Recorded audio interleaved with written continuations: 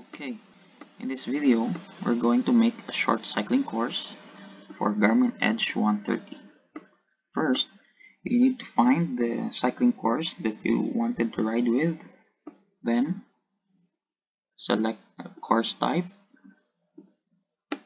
Then you can see the loop present in Garmin Edge app. Then, create a course. Select a course type I prefer a custom method. Then follow roads options. I need to zoom this in for me to choose the start start loop. So I choose this uh, starting point. Then all you need to do is click to the next route that you wanted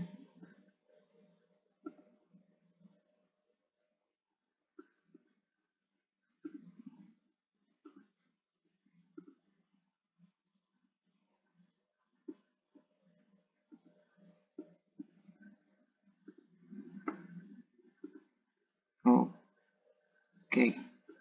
So this is my finish line. We can drag this one for or it can reach 10 kilometer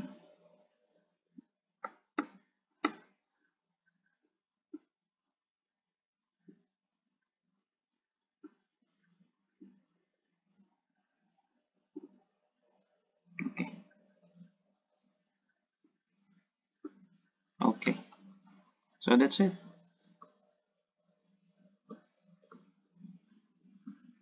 From your starting point this is your first kilometer.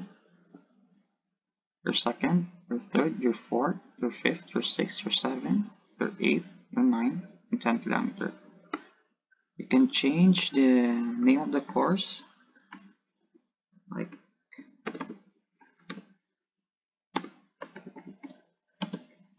10 kilometer cycling.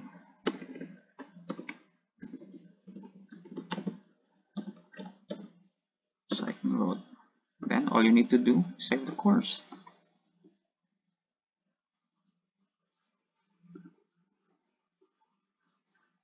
Then for you to connect this on your Garmin Edge 130, all you need to do is click this arrow sign and open your Garmin computer